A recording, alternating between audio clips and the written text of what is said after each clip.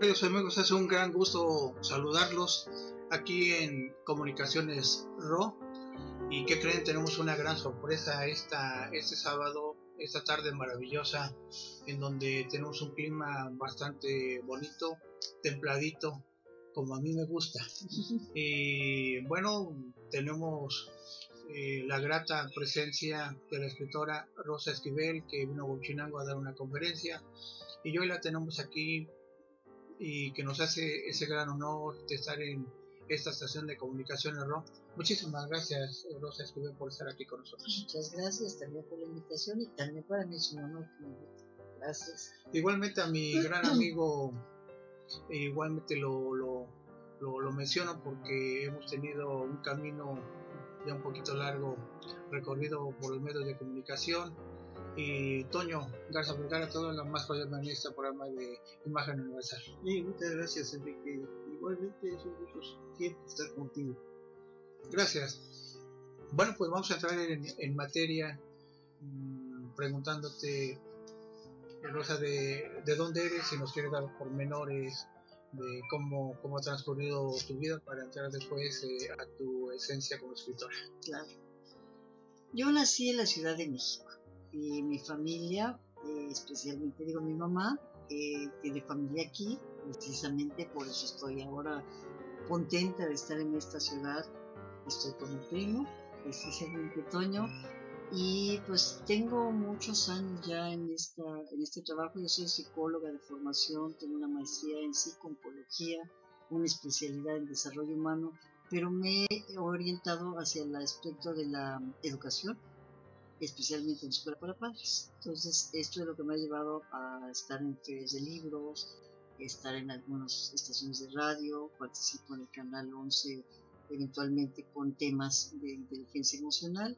Y bueno, pues prácticamente esa es mi, trayectoria breve. Tengo dos hijos, soy casada desde hace casi 30 años y bueno, y feliz. Bueno, de, ¿desde cuándo ejerces tu profesión como, como escritora? Como escritora surge hace 6, 8 años.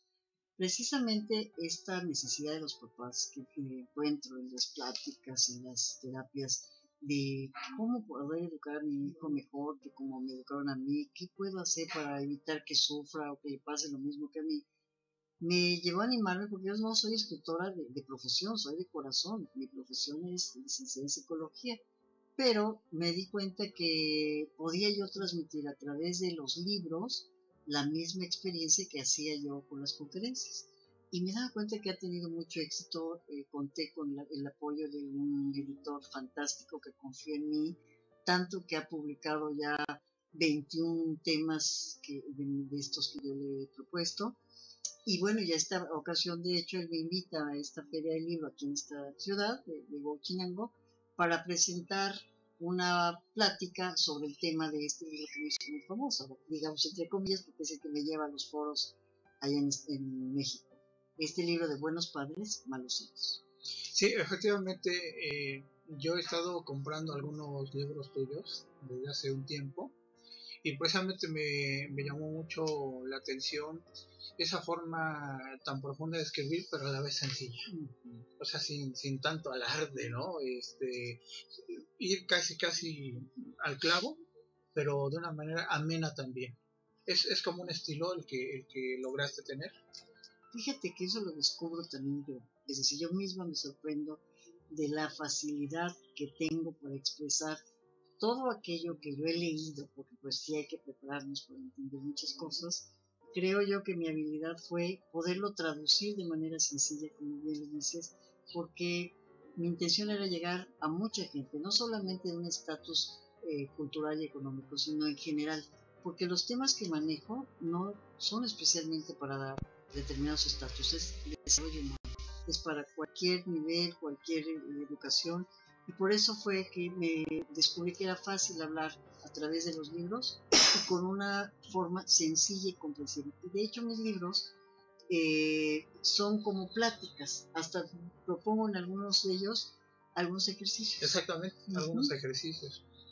Este, Toño, ¿cómo, cómo este, tienes esa, ese parentesco con, con esta escritora que tenemos ahorita en este momento, la escritora Rosa Esquivel, y algún en algún momento llegan a verse con cierta frecuencia, o sencillamente la vida así es, ¿no? uno se queda en un lugar, otro tiene que irse a otro. ¿Cómo, cómo es la vida con, con Rosa Esquivel en, en relación con tu parentesco?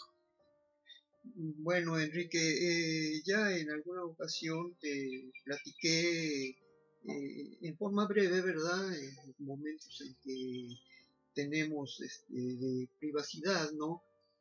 Ya sea ya en la universidad o cuando nos reunimos aquí o cuando nos reunimos con los otros colegas, ¿no? Amigos.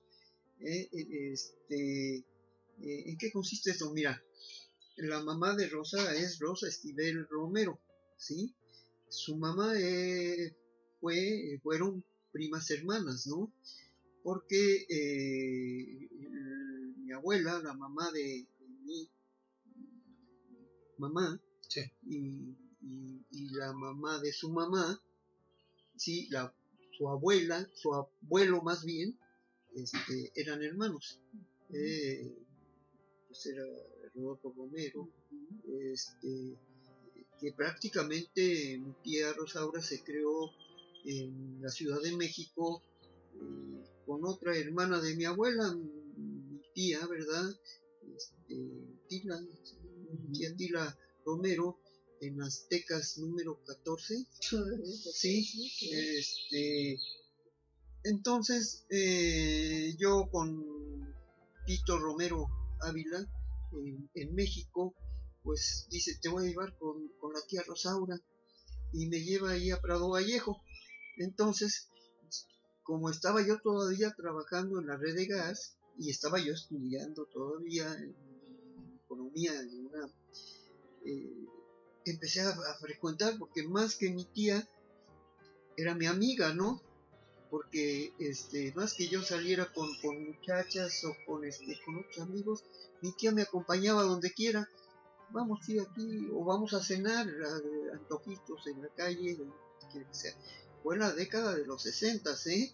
Y principios de los 60 y porque yo ya eh, a finales de los 60 pues eh, después del movimiento terminé y, me fui a la Ciudad de México, pero seguí visitándola, ya no con la frecuencia acostumbrada, pero sí, y a los muchachos, les digo muchachos porque eran a mi lado muy jóvenes, Rosa, y bueno, empezando Rodolfo, que ya no vivía con mi tía, pero eh, sí estaba Elizabeth, estaba este, Luis Ángel, estaba Gustavo, estaba Jorge y, Rosa. No me acuerdo cuál de los dos era el más chico, si Jorge o Rosa. ¿Eh? ¿Cuál de los dos era el más chico? Jorge, sí. Este, sí. Entonces, eh, y, con mi tía yo a cualquier hora luego yo me quedaba en su casa cuando andaba fuera y mi tía voy a ir al hospital de Pemex no Picacho eh, no quisiera ir solo te acompaño hijo. Sí, vamos y por ahí nos quedamos a, cenar algo a dar una vuelta nos vamos desde donde vivía el Prado Vallejo hasta Picacho no pues, pues norte a sur no y este y a veces en la madrugada luego eh, me acompañaba a la América Sur porque en esa época yo tenía un cálculo renal que me venía molestando mucho, me dolía bastante. Y en América Sur también me, acompañó pues ya cuando me aplicaron un tratamiento que se llama lisotripsia para desintegrarlo, ¿no? Pero tengo muchos, muy buenos recuerdos de mi tía, me dolió mucho cuando ella falleció, que me dijeron que falleció, bueno, fui estuve en sus funerales, ¿no? Este, fui porque yo andaba afuera y este y, digo pues es que mi tía era muy alegre y muy este te diré muy sociable ¿eh? tenía amigos y platicaba con, con se sentía uno a gusto ahí con este con mi tía y yo más que andar con mis primos pues andaba yo con mi tía no y, este, y platicábamos de, de de, este, de la familia, de, de, muchas cosas, ¿no? Entonces, eh, el parentesco es de que mm, mi mamá y Rosa eran primas hermanas, ¿no? este, eh, cuyo eh, nicho es la familia Romero de aquí de, De Huachinango, sí. Eh, no sé si tú los conocerías Sí, bien, no. está mi tío Fernando Romero, mi tío Juan Romero, mi tío Julio Romero, sí, mi tío Fernando Romero, el papá de Tito, de Tito Romero y todo eso en, que tiene su casa en calle de Hidalgo, Sí, Avenida sí, sí. Hidalgo, sí. Y pues prácticamente es el, el origen por parte de su mamá, en, este, en, en Huachinango, ¿no? Eh, por parte de su, de su papá, pues oye, a ver, inclusive una vez pasaron por aquí eh, Luis Ángel, su hijo, y este y el ingeniero, el ingeniero, su papá, ingeniero civil, ¿verdad? Este, porque era contratista, algo así, tu papá Electrónico. Electrónico, sí. Este, eh, inclusive cuando todavía vivía mi mamá, una vez pasaron por la casa y Luis Ángel y, y- y el papá, el ingeniero Ángel grande, ¿no? Y este, en la mañana temprano, y ya, pasaron, estuvimos platicando un buen rato. Fue la última vez que vi al papá de Rosa, ¿no? Y este, y prácticamente, bueno, esos son las, las raíces y todo eso, y este y con mi tía y pues la tía abuela ya en, en- la calle de Aztecas, ¿verdad? Desde entonces, porque mi mamá estudió este, cultura de belleza y estuvo con, con ellas ahí en, en- en Aztecas, ¿no? Un año, un año creo que estuvo estudiando eso allá en una academia que yo pienso que ya no existe, porque yo tendría, híjole, no sé, de haber tenido como seis años de edad. Y de toda esa historia llega el momento de esa historia tan hermosa en que se reúnen por casualidad del destino en la visita a Huachinango en una conferencia que acaba de, de dar Rosy Esquivel para que nuevamente eh, vuelvan a, a estar juntos, Bueno. menos un rato. nos dejamos de ver eh, mucho tiempo porque yo dejé de ir a la Ciudad de México, este, ya muy esporádicamente voy, ¿no? Este, la ciudad es este, muy grande sí, y muy estresante. y muy estresante, muy conflictivas en el, en tráfico y, entonces sí se, se pierde uno tantito y ya se perdió uno de todo, ¿no? Entonces, pues no, le estaba yo comentando que fui hace, ¿cuánto? Una semana, ¿no? Sí. Una, una semana.